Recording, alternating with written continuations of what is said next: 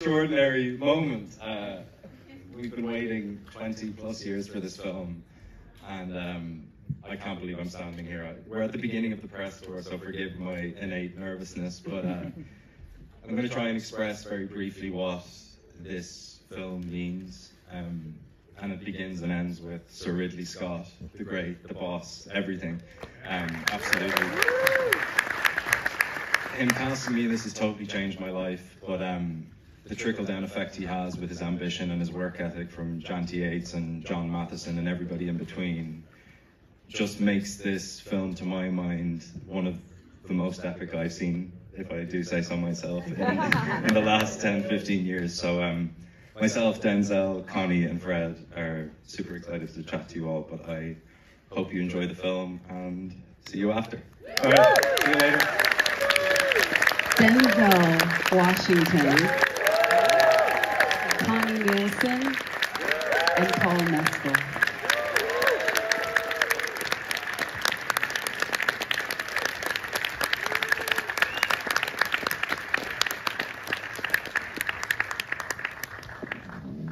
Okay, everyone have a seat. Damn, that was a movie, wasn't it? Seriously. Um, I got to see it a little while ago, and Paul, I want to start with you because I appreciate the journey that took us to get to this epic started with Ridley Scott doing what a lot of us did, which is watch you and Daisy fall in and out of love in normal people. And then you met with him and he sort of offered you the role. But I'm curious, what was it about Lucius in those first conversations that intrigued you? Obviously, you wanted to work with Ridley, wanted to work with Denzel, wanted to be a part of this, but what was it about the character that really you wanted to get into? Um, I, su- I suppose Lucius represented something to me that I had never done before, like somebody who is quite front-footed through the through the two and a half hours, and I hadn't got to do that before, and and, and it's something that has been kind of latently within me, something that's more muscular, something that's more kind of um, full of something that people ha- hadn't seen, and of course, as you said, it's if Ridley asks you to do something, you just say yes as quickly as possible.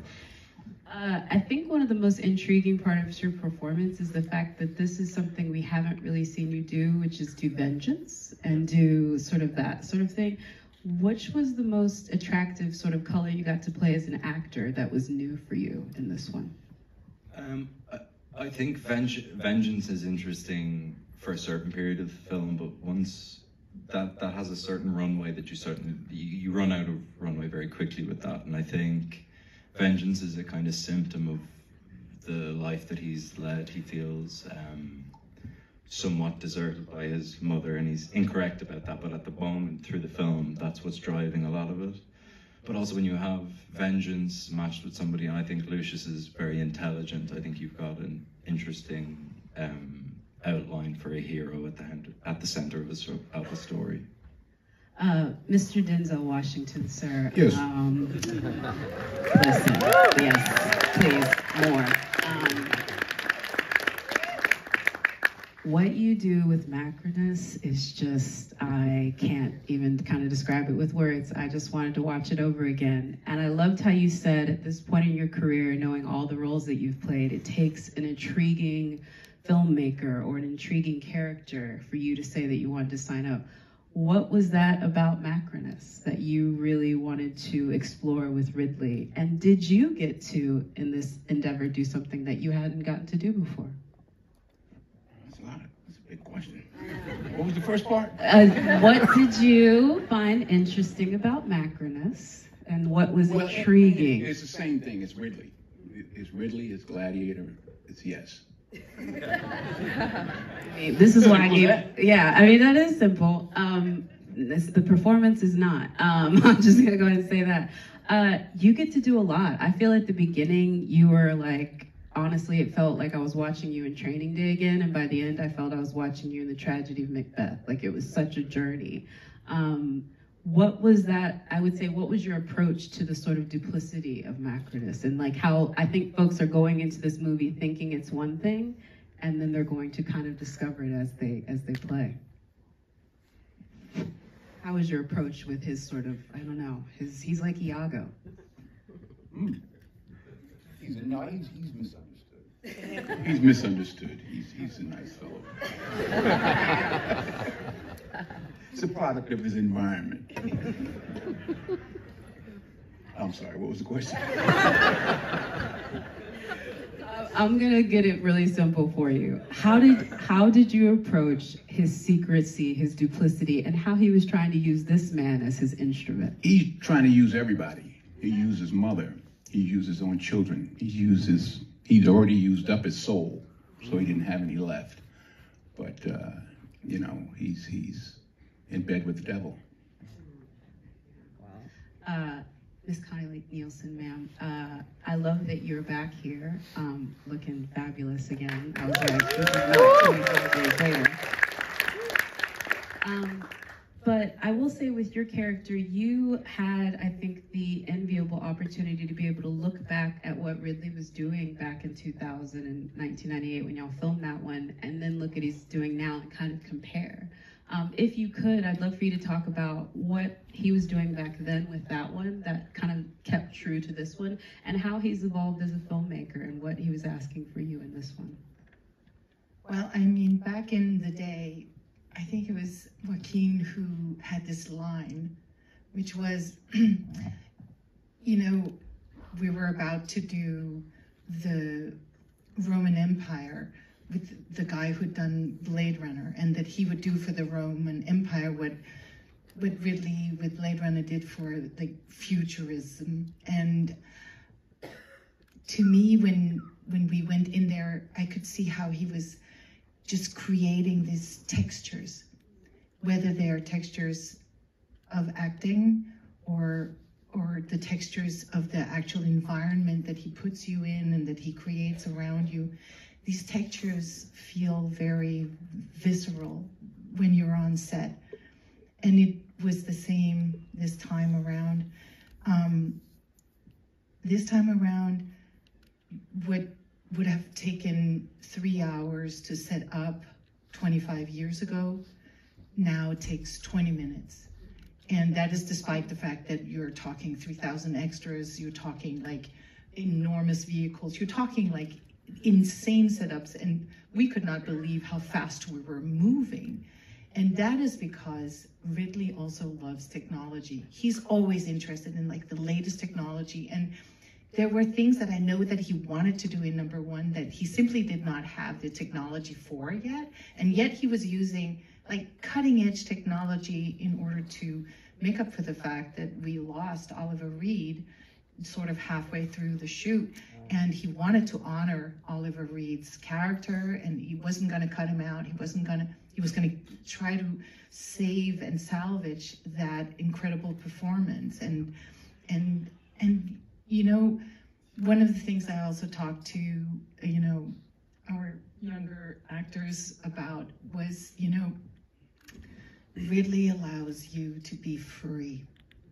And it's the same now as it was 25 years ago. He knows the sound he wants to hear. And but that doesn't mean that he's not going to let you try everything, but he knows where he wants you to hit. It's it's a fantastic experience as an actor. Uh, Fred, sir, um, I, I, have to almost call it a two-person performance with what you and Joseph are doing. It is, it feels almost like a Hydra type thing, and you are deliciously evil, deliciously evil. Um, but I'm curious how you and Joseph put that together because if you really look at you two in the scenes, like the way you move together, the way you are almost battling each other as much as you're battling outside forces, how did y'all sort of develop that physical aspect of these two twins, uh, emperors together? Because again, yeah, it's the two of them in every scene. Thank you. Um, I, I feel like Joseph and I were like an old vaudevillian couple preparing this. you know, we'd like gather every night. We'd go over the week's work, and and uh, we were well aware that this was in some ways a double act, and then in other key ways um, a very competitive, charged opposites as well. And so, um, yeah, it was really a play. You know, I know he wishes he could be here today too, and, and sends his love. Um, and uh, uh, but it really was so fun to build the history with him and work on it collectively, and then also know that that, that we we had our secrets and we had our independence together too. So I, I really do, uh, there were key uh, sequences and moments that I felt um, were choreographed like we were um, a couple just traveling around the country doing our dances together. I really dig that. Um, yes, Pedro and Joseph could not be here. They're off being uh, fantastic with two others. But uh, in their absence, uh, Paul, I want to talk to you a little bit about it. This is the beginning of the press tour. You're going to get a lot of questions about how many chicken breasts you had to eat and how many Get it out stairs. now. No, no, we're, I'm trying to be elevated. Um, how many stairs you had to take to get those thighs to look like that. Like, I get it, I get it. But I'm not going to do that. I'm actually more curious about what the more challenging aspects were to Lucius's emotional journey. If there was something that you particularly felt that you had to get very dialed in about that was harder than maybe some of the more physical things that you had to do. Well, I- I, I don't think the two things are separated. Actually, it's like if you're going to play somebody, like when you read the script, you go, in reality, how would this person survive? And I had this like naive um, idea at the start where I was like, I'm maybe going to just play a gladiator that kind of looks normal. it's like, I, well, I don't think that's going to cut it because I think Lucius is both. I always saw him like a dog, like somebody who would just scrap his way to survival. And I think psychologically, the thing that I wanted to focus on is like wh- why that is the case. And the reason that I think he survives isn't because he's strong or any of those things. It's because he actually doesn't really care if he lives or dies until the final scene with Denzel. And there's something bigger to live into. But then you're when you unpack that, you're actually dealing with somebody who's incredibly depressed and morbid, but also that lends a certain uh, chaos to a character, which i- is a tricky thing to kind of get your psychology around. Because if you unpack it, it's, it's it, it runs much deeper than you think. One thing I also want to applaud you for is I don't know if other people, uh, Lucius is kind of sassy. Like he's got bars. Like he is uh, giving as good as he gets in this, and I actually liked how that comedy from the first one also sort of like played through in this one. Um, Connie, I want to talk a little bit to you first because there's a duality in the script. There's the hero that we expect and the hero that sort of emerges later. There's the villain that we expect and then the villain that emerges later. And between your character and Denzel, they're both trying to use Lucius as an instrument. And I think her journey to this time in between the first film to now is really, I think, instructive of what we see for her. So I'd love for you to explain what Ridley told you about what she's been dealing with to get her at this moment where she's still trying to save the Republic, but she's lost a lot. Um, to me, she is really situated in like this whole idea of Marcus Aurelius. And when she interacts with Lucius, it really is about how is she going to bring this this heritage and bring that heritage to Lucius. She's lost very valuable time as a parent to do precisely that imprinting of those values on and that culture, that thinking, that that sense of respect for um, what power is and how it should be wielded, and um, and what she finds is a person who has somehow learned it already by himself. Um, so I think that that's a really beautiful sort of flow of energy. Um, she, on the other hand, has had to learn to survive from wielding power unwillingly and in a form that she finds horrific to like just in terms of what human nature is best at, which is being free. Here she has been anything but free. She's been a prisoner and she's been used to um, legitimize completely illegitimate power. And um, that that act must have been is something that I asked myself, you know, how do you stand out in front of a crowd of your fellow citizens and with your very being, you legitimize that which is unmentionable. Uh, forced to, that's how. Um, Mr. Denzel Washington, sir, I loved your quote. It's Cecil B. DeMille on steroids when you're on uh, Ridley Scott set. You said it, not me.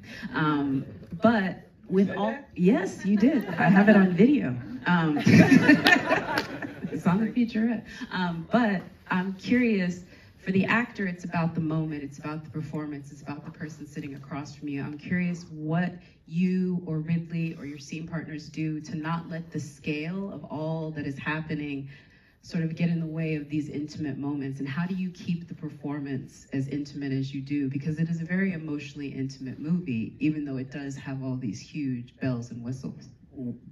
What ridley did which was great is he he built rome so all we had to do was put the clothes on and start talking. no, I'm serious. I mean, I'm, I mean, he built Rome. When you would walk around, you were in Rome, and it seemed like ten thousand extras and horses. I mean, it was it, it was make believe. It was it was play. You know, it was fun. Just put the gear on. put the dress on and go. The, you know, that's the way I looked at it. I'm, I'm putting this dress on, these rings, and I'm going crazy. and he did. Um, clear some space on the shelf. Um, listen, uh, I want to talk about the, uh, the writer David and a couple of the producers are here, and they mentioned how you're like a jazz musician with this part. That it is interesting and playful in every sort of scene.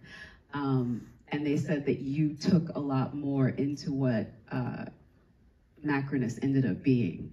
I'm curious if there was something on the page that jumped out at you that wasn't as explicit, but that you wanted to bring to your performance. I don't even remember what was on the page. Ask me that again. You said what? what was something you added, your special sauce, to Macrinus? Because they said that no, there was. No, no. It comes from. It, it, if it ain't on the page, it ain't on the stage. It starts with the words. So you you know, you had the words, you had the great actors, you had the environment, you had the swords, the horses, the, you had it all. You know, you had everything at your disposal and a the most brilliant director. Uh, Fred, I want to bring it to you. I guess everyone can talk to this, but the costuming uh, that Janty did, like your look, first of all, how you sort of crafted the character. He's a chaos agent, obviously, and it's a very broad performance, but it still has to be dialed in. Um, were there little touches to the look that you sort of discussed as far as how you wanted him to present? And how early on did they land on what you and Joseph ended up doing? Uh, weeks and weeks of of dialing in that that level of um, excess. You know, I, I kind of think of him as uh, rotting gold. So it's like it's you know it's it's every glitz and glamour, but there's true sickness in that. Um, and how do you have both of those things? And Janty Yates is just a brilliant, brilliant costume designer. It was so fun to build this uh, day by day. But even the the hair was something that we were working on, like the, the precise shade of that red, so that it feels fun and bombastic, but also believable and and grounded in, in something. Uh, twisted and menacing at the same time. So yeah, it was it was a I would say gradual process, um, and uh, and yeah, but but some aspects just came ready to go. Like like the monkey was ready to go. I didn't have to spend as long finding. She was amazing from the from the outset lots of uh, lots of uh, background and, and, lots of little touches. Um, we have to talk about the opening scene, Paul. That that moment and everything that went into creating that. Because how many days did y'all shoot that sequence total? Whatever day I say, it'll probably like knock five off it with Ridley Scott. I think I think we shot that opening sequence over nine shooting days, which I don't know any other director that could do that. Like I think we traveled to Malta like a week early, basically. Yeah. Yeah. But I, the opening, the first day on set, it was me and Pedro, and we were consciously kept in the tents, kind of outside of the city walls. And we were sitting sitting in the tent, and I was smoking a cigarette, and we were kind of marching around the place. And Ridley comes in with a cigar, and we're all just sitting there. I was absolutely shitting myself. And he looks at me and he goes, "You nervous?" And I was like, didn't know what the appropriate answer was. So I was like, ah. And he's like, bang. Your nerves are no fucking good to me. So marches us out. Cameras are turning over. Three like like my game on set was like try and spot the cameras. Wait, um, is this okay? I think it's Okay, okay. all right. um, and then just the cameras are turning over, and that like that that scene when um, Yugurth is doing the blessing of the troops was the first scene that we shot, and that was how that's what we walked into, and I think that's part of Ridley's genius, where he's like, we're on this ride together. Let's not waste any time because time is precious, and and and, and Ridley uses time like a genius. So that was that was a real blessing from him, I think. Um, is that the scene where you broke Pedro's shoulder? I'm kidding. I know you didn't do it. I'm kidding. I'm kidding. I'm kidding. It was Kieran Culkin. Um, it was Kieran Culkin. I'm just kidding. No, but Connie, you do get to act alongside Pedro, who is not here, but he is also dreamy. But Acacius, he is, he's also dreamy. He is. Sorry. uh, but the Acacius character, I would love for you um, to talk because y'all also have some incredible scenes together. The scene that you have with him, I think, is one that is very emotional and very moving, and it shows your relationship, but it really only pales to what you two do towards the end. And yeah, I'd just love for you to talk about Pedro a little bit as a scene partner and what he brought to this performance. Well, first of all, I mean, that man just carries, I don't know, boatloads of charm. Like, in, in it trails behind him. And you just like, kind of like notice this energy arrive on set. It's actually the same as when you were walking on set. It's like, it, like when Denzel was walking into the set, it was sort of like the curtains were still moving after he passed through them. Um, I'm not kidding. It's I true. believe you. Um, and Pedro, there's something so gentle about him that it just like touches you right away. And you feel so loved when you're with him. Like you just feel so safe. And and then he's a little naughty which is fantastic. And um and so there's like always like this little sort of like play in the game inside of a game which is really fun um so I think in the beginning it was supposed to just be like this sort of she, he comes from from work and are you hungry, dear, kind of scene. And instead it became a scene where it's sort of like you have to win me over before you come close. And it was such a it was like little minute things that we didn't speak but that just happened. Yeah. Um, Paul, I'm going to give you the last word, and then we're going to go have fun drinks. There's coffee out there too, so I'm going to end it here. But uh, I think a lot of people have been waiting for this movie, but there's an equal number of people who were like, you know, they haven't had the experience these folks have to know that it's brilliant. They're like, hey, this was such a great thing. What would you say to folks and audiences about what it is about this film that it does continue the legacy? Because I think you've seen it now and can speak to that. That's a lot of pressure. I mean, Um, it's your movie, sir. I'm sorry.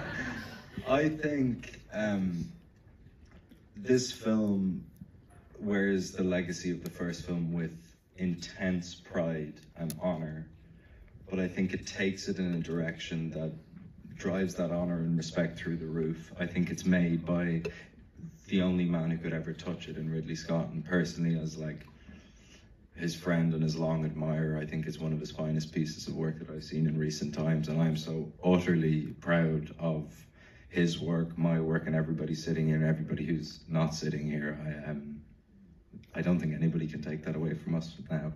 Yeah, yeah. Oh, he's getting the credit. Um, I want to thank you all for your brilliant performances. It is, I, I just can't wait